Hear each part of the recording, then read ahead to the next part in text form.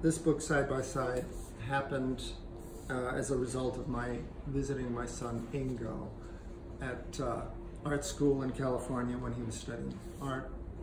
And uh, sitting with him as he worked, learning from him, him sitting next to me as I worked, he learning from me.